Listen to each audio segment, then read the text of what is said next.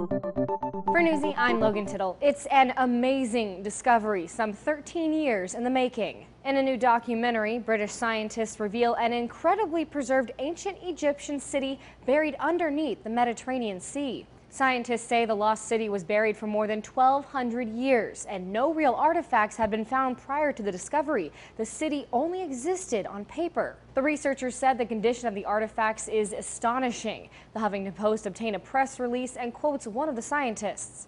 The archaeological evidence is simply overwhelming. By lying untouched and protected by sand on the seafloor for centuries, they are brilliantly preserved. Franck Goddio and his team unearthed the city and spoke about what the city was probably like. The objects recovered from the excavations illustrate the city's beauty and glory, the magnificence of their grand temples and the abundance of historic evidence, colossal statues, inscriptions and architectural elements, jewelry and coins, a civilization frozen in time. Scientists have yet to uncover the real mystery. How did it end up underwater?